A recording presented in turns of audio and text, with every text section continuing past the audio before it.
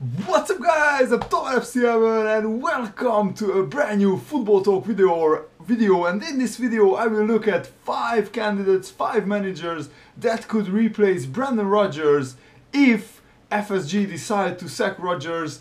Let me know who is your favorite out of these 5 managers, who do you think should uh, replace Brendan Rodgers if FSG decide to sack him. Uh, there will be a meeting um, in uh, the USA between Rodgers and the owners on June the 3rd, I believe. So I think I will we will learn uh, the manager's fate um, like a week from now.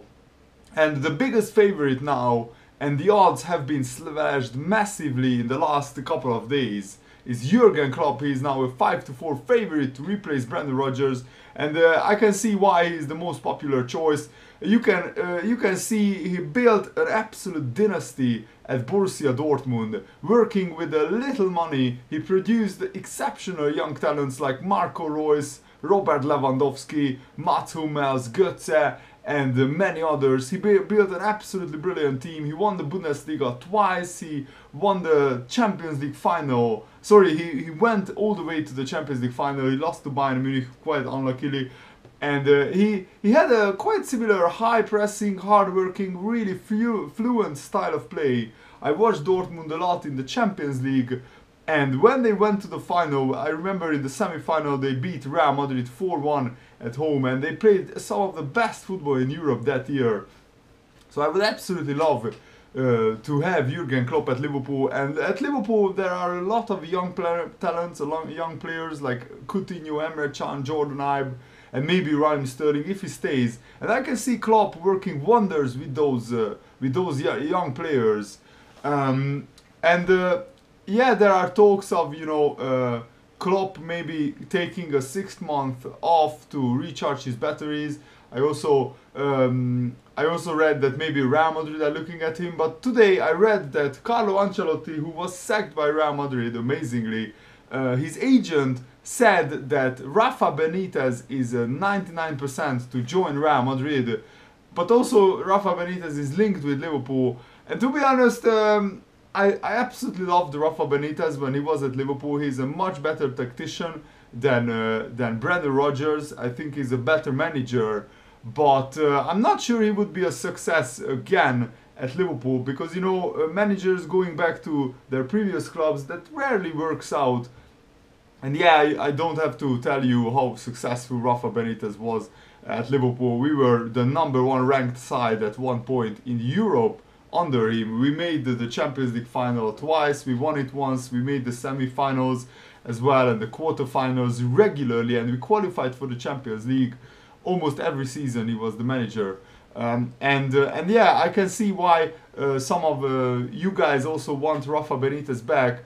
Um, the thing is, uh, we, we don't know what would happen. And I, I, Rafa Benitez is quite a strong, stubborn manager, so I'm not sure he would work under under this setup. The transfer committee and the owners, it's uh, you know not clear cut who makes the decisions regarding the transfers. I think that has been a massive, massive problem.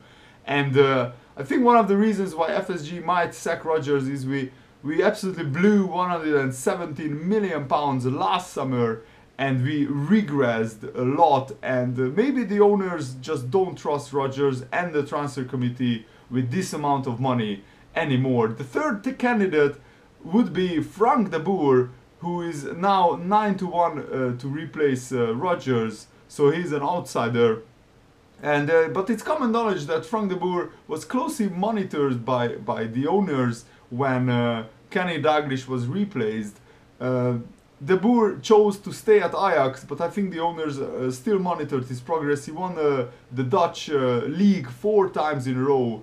This this season, PSV Eindhoven won it, but but uh, I think he's a great young manager. The thing is, he only worked so far in the Netherlands, so we don't know how he would do in the Premier League. So he would be a much bigger gamble than Jurgen Klopp. But regardless, he's a very talented coach with a really good reputation for working uh, with young players. Uh, he brought out, uh, on a lot of young players and developed a lot of young players at Ajax. And um, yeah, the thing is about De Boer is he's very unproven. Uh, the other candidate is Carlo Ancelotti. He's 25 to one, so he's even more uh, an outsider than De Boer. Uh, but but it's amazing that Ancelotti, uh, who is one of the best managers in the history of football, not just currently, but in the history of football, was sacked by Real Madrid because he didn't win uh, a trophy this season. But last season he won the Champions League. This season he won 22 games in a row, and they, they lost out only just to an absolutely amazing Barcelona team. But you know that's that's uh, Real Madrid for you. If you don't win the league, you get sacked uh, sooner or later.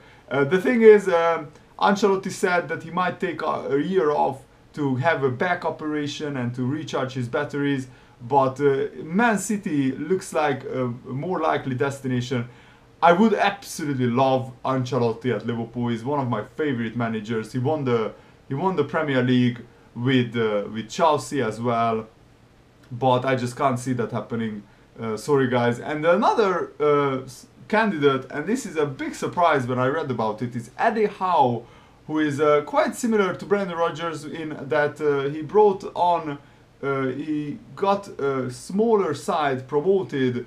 What he did with, with Bournemouth was nothing sort, nothing sort of miraculous, because he he he got promoted uh, to the um, to the championship in 2013, and just two years later he uh, got promoted to the Premier League, winning the league, which is absolutely amazing on a on a really small budget. Uh, of course, he's extremely experienced. He's only 37 years old, so he's even younger than Rodgers. So it would be a massive, massive gamble. But I think it's uh, it's just worth mentioning him because he's just one of the best up and coming young managers in world football. So it it's uh, it will be really really interesting to see how he does with Bournemouth in the Premier League. Um, I don't think this will happen either. Uh, the most likely scenario is either Klopp or De Boer, in my opinion. Uh, Ancelotti looks like he will take a year off.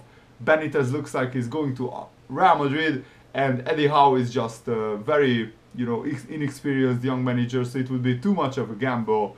The safest bet at the moment is to appoint Klopp because he would uh, attract much bigger, much better players at Liverpool.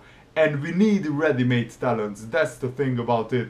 We can't expect young players to carry Liverpool to the Champions League. Look at the other clubs. They sign big players on big wages who produce week in, week out consistently and that results in success on the football field. There is no other recipe at the moment that works in the long run.